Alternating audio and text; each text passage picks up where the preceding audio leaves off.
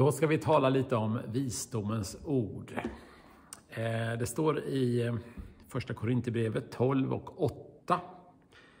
I folkbibeln står det den ene får av anden ord av vishet, den andra ord av kunskap genom samma ande. I 1917 års översättning står det så gives genom anden åt den ena att tala visdomens ord, åt den annan att efter samma ande tala kunskapens ord. Om vi bara går till uppslagsverket så är kunskap att känna till fakta om någonting. Och vishet det är att eh, inneha erfarenhet och kunskap, men att också kunna kombinera det med förmågan att tillämpa detta på rätt sätt. Eh, David Petz säger i sin bok om andliga nåd och gåvor att kunskap innebär att vi är medvetna om att något är sant, medan vishet innebär att vi vet vad vi ska göra. Och det skulle jag vilja stryka under med röd, rödpenna här idag. Vi kan få hjälp, övernaturlig hjälp av den helige Ande, att veta vad vi ska göra. Och vishet kan naturligtvis växa med åren och växa med kunskap och erfarenheter och att man har gjort fel och så har man gjort rätt. Och allt detta, det, det finns en naturlig väg så att, säga, att växa i vishet. Man kan också växa i andlig vishet genom att studera Bibeln, studera Guds ord. Men nu talar vi om nådegåvan, visdomens ord och det är alltså när Gud ger någonting övernaturligt. Omgivningen kanske inte fattar att det var Gud som kom med lösningen. Kanske tror att det är du som är jättesmart eller något sånt där. Ja, eller att, det, att du liksom bara tänkte ut någonting. Men ofta är vi själva väldigt medvetna om, så är det för mig i alla fall, att oj, det där fick jag från den helige Ande. Eh, och jag kan inte förklara det på annat sätt än att, att det kommer som en maning bara, en stark maning. Och, och man vet att om man inte följer maningen, då gör man fel. Då kommer man få äta upp det senare, ofta också. Eh, det kan vara att du ska Eh, stå i möte med en besvärlig person. Det kan vara att du ska eh, förbereda någonting. Du ska sitta ner med en jurist. Du ska eh, ett medlemsmöte i församlingen och du ska... Och Gud bara ger dig den här maningen att förbereda dig lite extra på den här detaljen. Tänk lite på detta. Och det, kommer, det är ingenting du liksom tänker ut bara liksom, genom att liksom stapla logiska tankar på varandra, utan det kommer liksom till dig. Så. Och när det händer så det, det bästa är garanterat att göra det. För jag vet inte hur många gånger som jag har varit tacksam i efterhand för att tack gode Gud att jag liksom fick den där maningen. Det, det var, alltså, så, så är man förberedd ofta för en situation. Jag skulle också, också vilja säga att visdomens ord är en väldigt offensiv gåva. För tittar vi i Jesu liv, hur, hur han så att säga, eh, fungerade i, i nådegåvorna, alltså det, han hamnade ofta liksom i ganska pressade situationer. Det var manipulativa situationer. Det var, det var liksom en press på honom att att han, de, folk skulle ställa honom mot väggen och så, och så får han liksom här, här, han säger de här geniala sakerna liksom.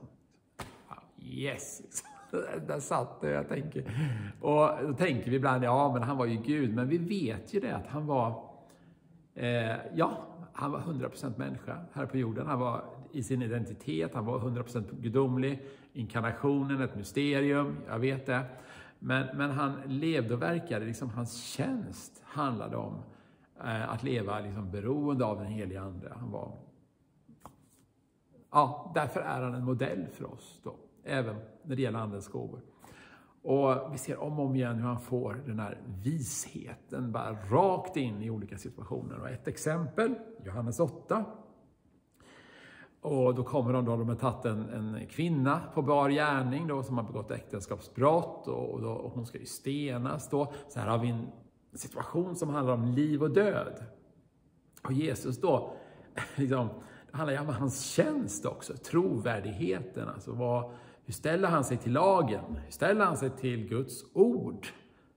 Och ja, det finns ju kunde varit alla möjliga scenarier som hade kunnat utvecklas här. Men Jesus ritar lite i sanden och sen reser han sig upp och så, och så säger han, den av er som är utan synd kan kasta första stenen på henne.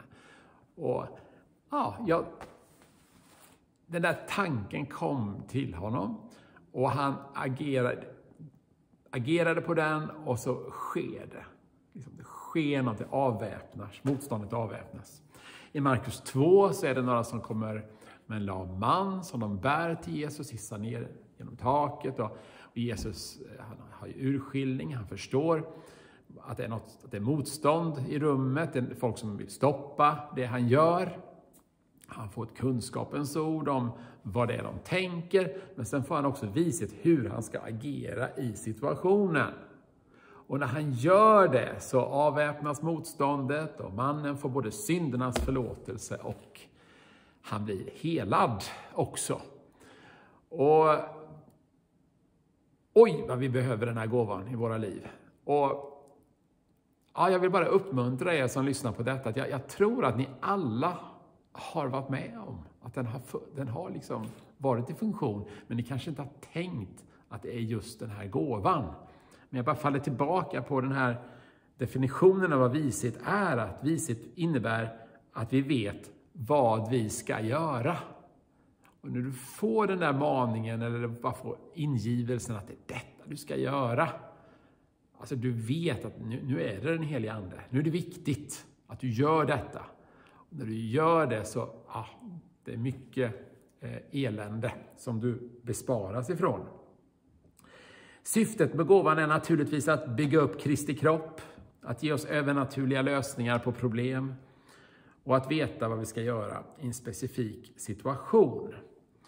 Eh, som sagt, det kan komma som en maning, ingivelse. Jag nämnde några exempel på det helt kort här.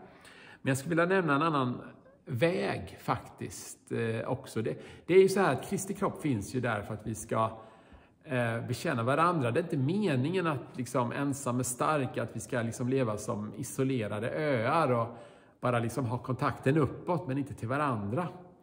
Så jag vill också verkligen bara lägga fram detta att om det är en speciellt knivig situation du befinner dig i och du, du har tagit inför Gud i bön, lägg fram det eh, till några mogna kristna människor runt omkring dig.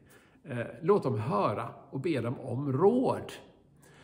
Och Det kan mycket väl vara så att de här personerna egentligen inte har expertis på det område som du behöver hjälp med. Men bara det att du liksom ödmjukar dig och ber om råd inför Herren, så ja, du kan bli överraskad hur Gud kommer använda dem, faktiskt. Ja, ett exempel bara från mitt liv. Jag är ordförande i en eh, samfällighetsförening. Vi är några radhus. Och vi har en samfällighetsförening som fattar beslut om vad som sker med området runt husen. Och eh, för några år sedan så var det en dränering som hade skett och vi hade byggt upp vårt gemensamma garage. Men så hade det blivit en läcka på avlopps eh, ledningen fyra meter under marken, alltså under garaget. Och det gjorde att dagvatten rinner in och så rinner det ut i kommunens vatten och kommunen sätter hårt mot hårt att det här måste ni åtgärda. Vi tar dit en entreprenör, han säger att vi måste riva garaget, göra en stor krater, ner och byta ledningarna, kostar en halv miljon. Inte roligt, inte alls roligt. Och jag, eh, det här är inte mitt område egentligen, men jag, vi har en bönevecka, jag är uppskriven på en bönenatt och jag går där och liksom bara lyfter upp detta inför Gud. Då. Jag ber och Gud, nu får du hjälpa mig och, och så här. Och, um, och jag liksom utgjuter så att säga, bara mitt hjärta inför Gud på det här området. Senare så har jag en samling med eh, församlingsledningen och jag, jag säger det att jag vill, eh, får jag lägga fram ett personligt bönämne? Säger jag bara. Det är någonting som händer när vi lägger fram sådär för varandra. Och så nämner jag kortfattat om situationen och det är någon som säger, ja, ska du inte kolla med, med den där eh, företagaren istället?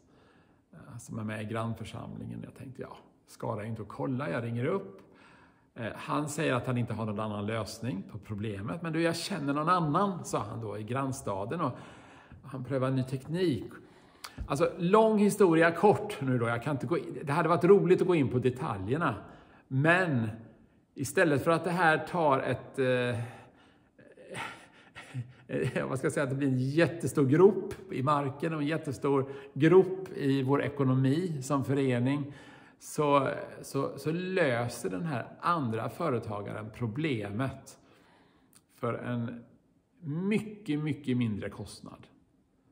Och ja, fantastisk lösning. Fantastisk lösning. Och, och jag, jag, bara ger det som ett exempel på att om du är i en riktigt knivig situation och du ser ingen väg ut. Alltså, var inte rädd för att liksom ödmjuka dig och lyfta fram det. Jag, jag, tror faktiskt, jag, jag tror ju faktiskt på Guds församling. Väldigt mycket. Och det, det är väldigt bra att fråga både läkare och psykologer och, och terapeuter och, och, jurister och allt om råd. Gör det för allt i världen, vad det nu är för situation du befinner dig i. Men varför? Alltså, men titta inte bara på människorna som sitter i församlingsledningen. Förstår du vad jag menar? Exakt vad de har på sitt CV eller vad de har eh, för, Utan tänk att, att Guds ande faktiskt vilar över församlingen. Och när du ödmjukar dig och säger, kan ni, kan ni be för mig? Då det kan komma så mycket vishet direkt från himlen bara till dig genom det. Så det är också ett sätt. Jag vill också nämna om min fru. Hon är eh, högstadielärare. Och eh, jag tycker hon är en fantastisk människa på, på hundra olika sätt, jätteduktig. Men när hon berättar alltså, om olika saker som händer liksom, i tjänsten där på skolan. Alltså, det är riktigt utmanande situationer. Alltså, med både elever och inte minst med föräldrar ibland och andra kollegor. Och, och det, alltså, det är komplicerat och det är, det är anklagelser och det, det, det kan vara alla möjliga saker som händer. Och jag måste säga att ibland så känner jag liksom bara så här, wow vad bra hon är. Liksom, vad, vad, i all världen fick hon det? När jag bara hör hur saker och ting har liksom, eh, och hon liksom bara berättar sakligt hur, hur, hur hon har, liksom har gensvarat på olika situationer. Jag, och jag tänker bara att men det, det där var helig ande. Alltså, så, inte, för att, inte för att jag vill... Eh, Det här blir ju fel eh, oavsett hur jag säger det. Jag vill inte nedvärdera hennes förmåga, så, men jag bara, jag bara ser. Alltså det, uh, så jag bara så här, va? Och, det, och det säger hon själv också. Det säger hon själv också, att det kommer sådana lösningar till henne. Och eh, ett exempel då, eh, som är lite humoristiskt, lite roligt exempel till slut, det var, eh, det var de skulle göra eh, nationellt prov. Och det var del 1 och så var det del 2. Och dagen innan de skulle göra del två av det här nationella provet så ska de sitta i klassrummet och då har hon förberett övningar då de kan göra på det här ämnesområdet. Och, så, men, men, så när hon ska ge, de här övningarna så får hon bara en sån här tanke. Så. Nej men, ge dem det här gamla repetitionsarket istället. Det här som hon hade gjort sedan längre tillbaka. Ge dem det istället. Och det kom bara till henne. Okej, okay så gjorde hon det. Hon delade ut det. Och sen fungerar det så att de här prov, lärarna ser ju inte de här proven förrän precis innan de ska delas ut. En annan på skolan som alltså sprättar upp de här eh, lådorna och det sker samma morgon. Så nästa morgon, dagen därpå, så sprättas den här lådan upp och, och, och den här läraren ger proven då till min fru. Och sen så delar hon ut proven och så börjar eleverna göra. Och när de, när de får provet så är det liksom nästan exakt samma frågor som var på det där repetitionsarket hon hade delat ut. Helt otroligt alltså. Och eleverna tackade henne efteråt för att hon, liksom, hon har varit så snäll. Liksom. Och hon fick ju bara förklara och den här andra kollegan var tvungen att bedyra inför de andra kollegorna att, att hon absolut inte sett det här provet. Det fanns inget sätt för henne att, att veta det. Och, och, och, sannolikheten är ju otroligt liten att det skulle vara på det sättet. Så, eh, och, jag, jag, tror hon fick ett, ett visdom, alltså, jag tror hennes elever fick liksom skörda glädjen av att den heliga Ande Eh, gav henne den här ingivelsen där och att hon gick på det också. Så eh, med de här exemplen så vill jag bara säga att, att Gud eh, han är så mån om att vi ska lyckas och han vill hjälpa oss. Och han vill leva en personlig relation med oss och den helige Ande vill tala till oss och uppmuntra oss och hjälpa oss. Och, eh, han vill att du ska få vara ett redskap i hans hand.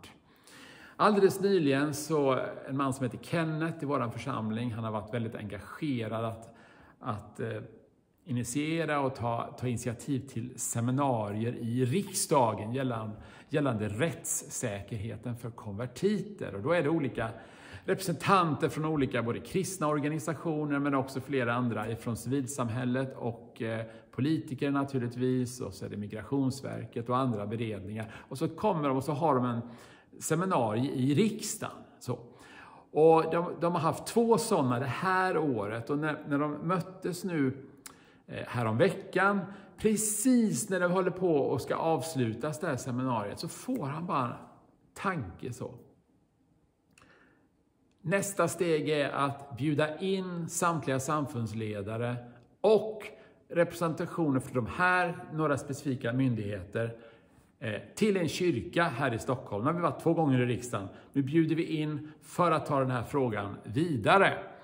Och, och då hjärtat börjar klappa på honom. Liksom där, det bultar och Så, men han tar mod till sig och han sa, jag, jag var tvungen att säga det, sa han, för annars hade jag varit olydig. Och han, han reser sig upp och alla i rummet vet du, bara, ja men det måste vi göra. Och så tar man fram almanackan och bestämmer ett datum och bestämmer en plats. Och så kan de fortsätta driva de här frågorna med rättssäkerhet för konvertiter. Alltså bröder och systrar som har Eh, till tro på Jesus Kristus och som i bästa fall får fängelse om de återvänder hem. I bästa fall blir det fängelse.